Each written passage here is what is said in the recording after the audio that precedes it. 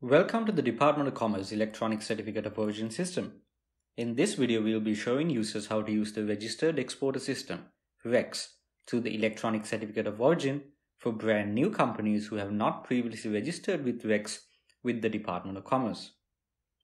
Now, you may be a company who has already registered with the REX system and has a REX registration number as well as a REX certificate. If that is the case, go ahead and watch the previous video in this series as this video is for companies who are new to the REX system. To start things off, let's go ahead and log into the system. A couple of things all exporters must know is that only certain types of products can be added to the REX system. The steps on adding products are explained in detail in the previous videos, so go ahead and watch those if you require a step-by-step -step explanation. The most important thing is that products that are exported to the European Union countries under the GSP agreement can be selected for REX. Furthermore, these products must have a Department of Commerce approved cost statement, material sheet, or an affidavit before they can be selected for REX.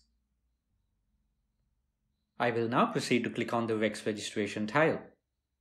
This directs me to the REX registration page where I am asked a question of whether I am already an exporter registered with REX.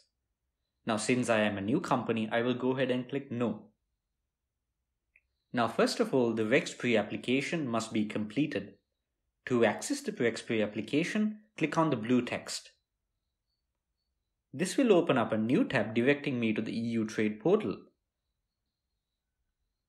I will have to fill in this application. And once completed, I will download the application I just completed as a PDF and I will go back to the electronic certificate of origin system and upload the completed pre-application PDF.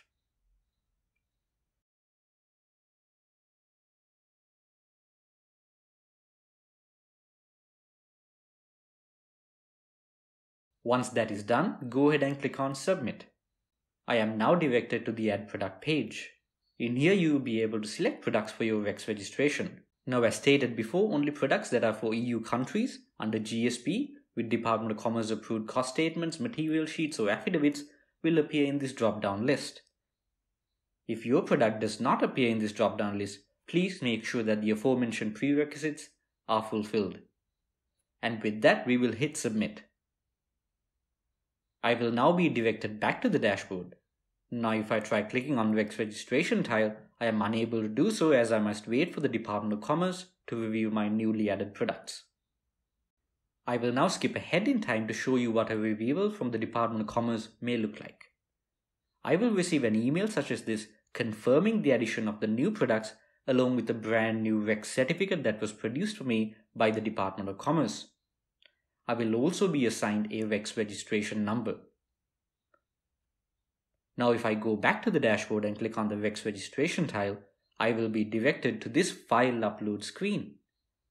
I am required to upload a scanned copy of the REX certificate after I place a signature of the authorized person on it.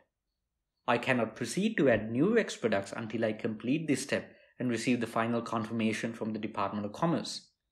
So let me go ahead and place the authorized person's signature on the REX certificate that I received through mail, scan it, and upload it for Department of Commerce review.